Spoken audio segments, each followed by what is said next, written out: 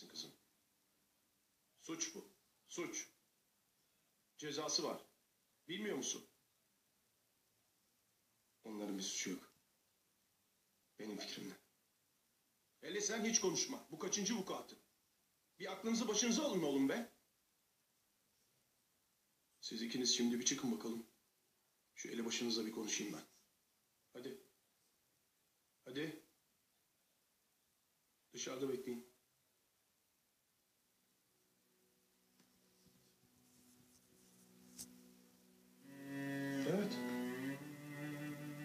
Bu şimdi? Ne zaman doğruyla yanlışı ayırt etmeyi öğreneceksin sen? Senin yaptığın çok mu doğru? Geldin nikah bastın.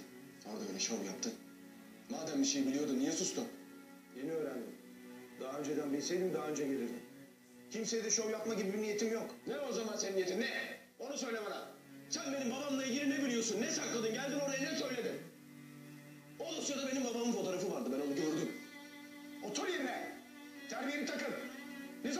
duracaksın oğlum sen? He? Ne zaman frene basacaksın bir sağlam kafayla düşünmeyi öğreneceksin? Ya korkuyorum. Korkuyorum ben şunu. Oldu mu? Babama bir şey olacak diye ben çok korkuyorum. Ben babamı tekrar kaybedeceğim diye çok korkuyorum. Sana geldim buraya.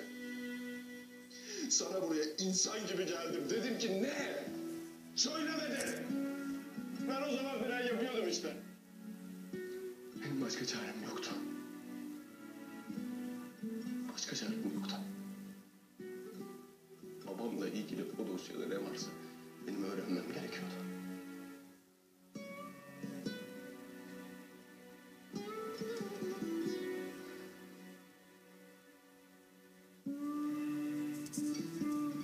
Babasını bilmeyen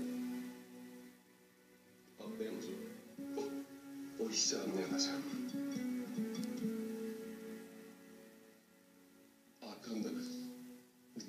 Dağın olmaması ne demek anlayamaz. Benim babamın gittiği günden bugüne onun geldiğini hayal etmediğim tek gün olmadı. Şimdi bir tane neyse artık sır yüzünden